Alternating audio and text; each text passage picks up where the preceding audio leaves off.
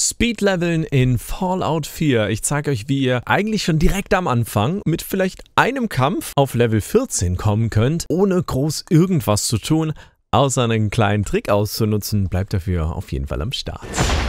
Liebe Leute, ich bin Fragnard und falls ihr mich noch nicht kennt, herzlich willkommen. Ich mache seit 2014 Videos über Open World Rollenspiele und ich hätte niemals gedacht, dass ich einfach mal äh, über Fallout 4 Guides machen kann und es äh, ja, Leute interessiert. Also herzlich willkommen an alle da draußen. Schön, dass ihr dabei seid. Wir müssen äh, erstmal Folgendes abstecken. Ein kleiner Tipp vorab.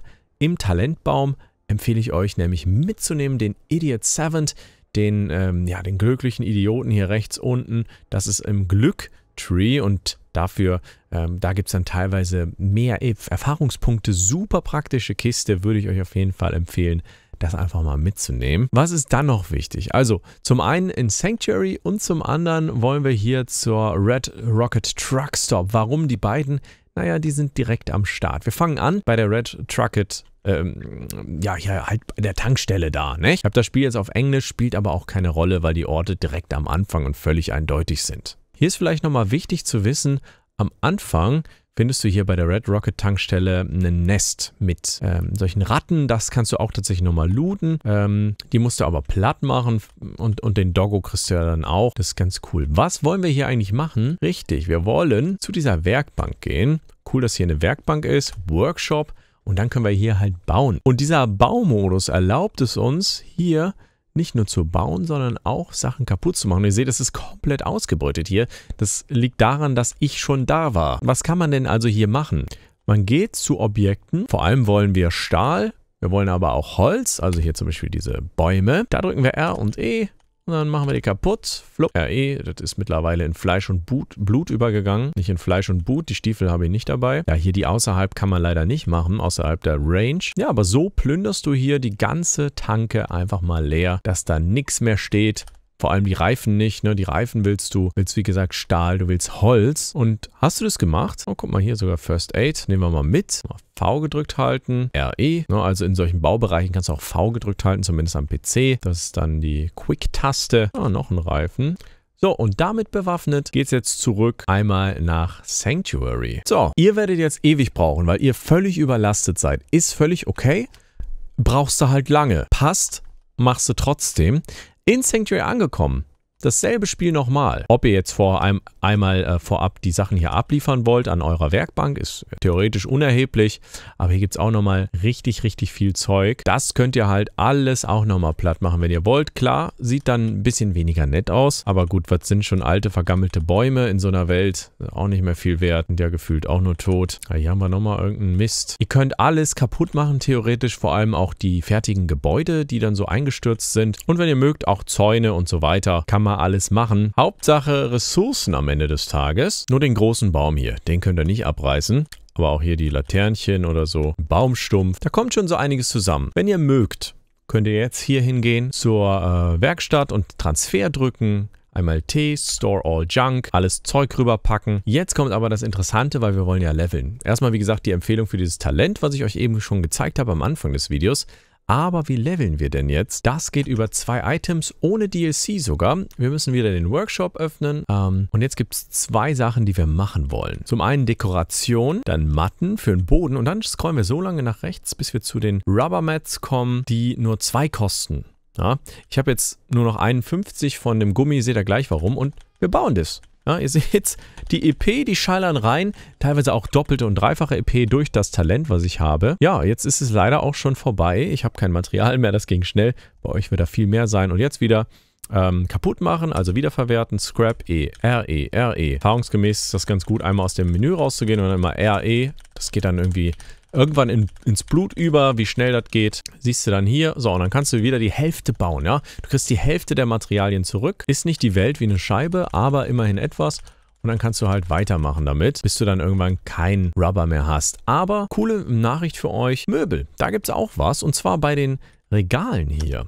Da gibt es nämlich einmal Stahlregale, die du machen kannst. Die kosten auch nur zwei. Und Holzregale. Und hier habe ich eine Warnung für euch irgendwie das eine Holzregal, ah, das hier, das gibt keine EP. Warum auch immer. Das rechte hingegen, das, das gibt irgendwie EP. Ich weiß halt nicht, ob es da irgendwie eine Begrenzung gibt oder so. Eine Levelbegrenzung maybe auch. Ja, Ich mache es jetzt mal hier vor an diesem Stahlregal. Vielleicht ist es auch so, dass du nicht eine bestimmte Anzahl überschreiten sollst von, von einem Item, aber ich mache jetzt hier ganz oft zum Beispiel dieses Stahlregal, davon habe ich noch viel. Ja, und das machst du dann halt einfach, bis dein Stahl aufgebraucht ist oder so, äh, den ganzen lieben langen Tag lang. Und äh, dann machst du es wieder kaputt, kriegst die Hälfte der Materialien zurück, dann äh, baust du es wieder und so. Das ist jetzt nicht aufregend, aber du kannst halt einfach mal Level 10, 12 easy werden, Level 14 oder so, wenn du wirklich durchhasselst und deine ganzen Materialien weiterverwertest. Hier eine Warnung bei den Regalen.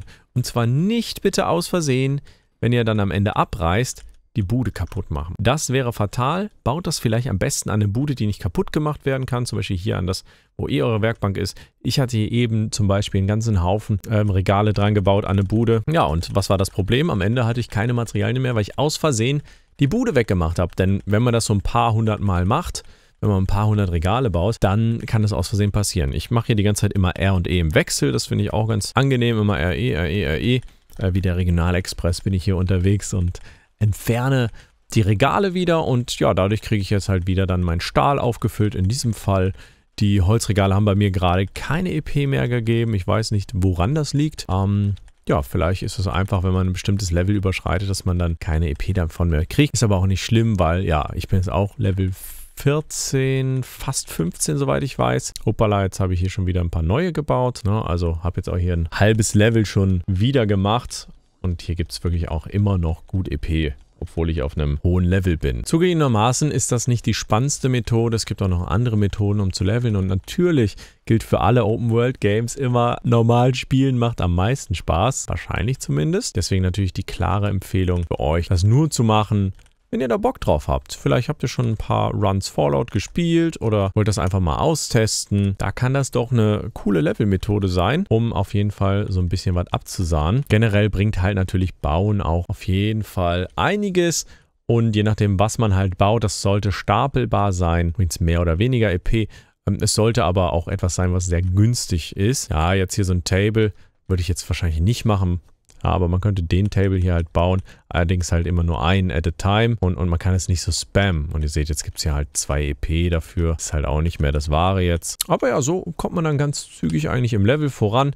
Vor allem, wenn man, wie gesagt, hier nochmal das Idiot 7 Ta Talent mit dabei hat, was man äh, hier durch den Glückstree bekommt. Und so einfach löppt der Lachs. Und wenn ihr Bock habt auf andere Games, zum Beispiel von Fallout, dann kann ich euch empfehlen, in neba.com, mein Partner, hier gibt es ne, die Fallout 4 GOTY für 10 Euro, New Vegas für 4 Euro, 9 Euro für 76 Wobei ich glaube, das ist aktuell noch gratis. Fallout 3 für 4 Euro. Also ihr seht, sehr günstige Games, sind natürlich auch sehr alte Games, klar aber auch, falls ihr eben auf der Playstation unterwegs seid, das PSN-Guthaben, das ist hier immer der Klassiker, ähm, was man hier so holen kann. Zum Beispiel die 100 Euro, das ist, glaube ich, der Bestseller. Da zahlst du am Ende meistens nämlich so 92 Euro ungefähr für, manchmal 93, je nachdem. Und ähm, da kommt halt immer noch eine Servicegebühr mit drauf. Deswegen 92 Euro, 42 für 100 Euro PSN-Guthaben. Wenn ihr mich supporten wollt, ist immer der erste Link in der Beschreibung. Ineba sein, äh, mein Partner seit 2019. Vielen Dank auch an die für den Support.